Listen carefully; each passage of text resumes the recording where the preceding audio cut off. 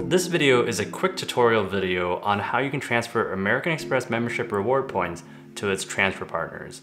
This essentially means converting your American Express membership reward points over to airline miles or hotel programs. And by transferring points over to transfer partners, you can potentially get more value out of your American Express membership reward points.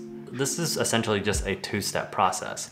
First, you wanna find award availability with that airline or hotel programs before you transfer your American Express membership reward points over to that airline or hotel program. You don't want to transfer American Express points over to an airline and then come to find out you can't book the flight with airline miles. So for example, if I want to book something on British Airways, I want to go on British Airways' website and make sure I can book that flight with British Airways points before I transfer my American Express points over to British Airways. Transferring points is a one-way street. You only can transfer American Express points to the airline or hotel programs, but you can't transfer them back. So all transfers are final. You wanna make sure and double check that there's award availability with that airline or hotel before you transfer American Express points. When you transfer American Express points, you'll also wanna note the transfer times and the transfer ratios.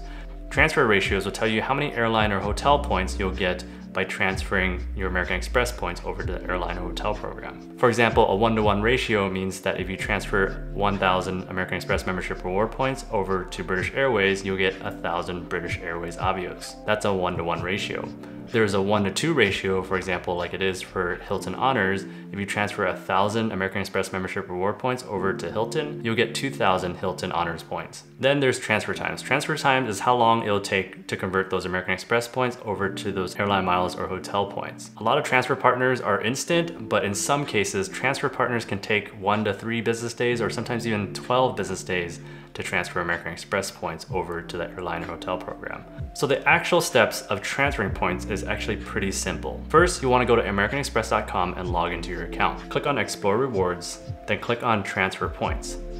Click on View All, then you'll see this list of all the transfer partners. American Express has 17 airlines and three hotel transfer partners.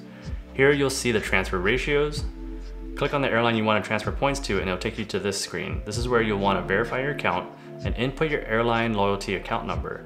If you don't have one, they give you a link at the top and you can go create an account and it's free.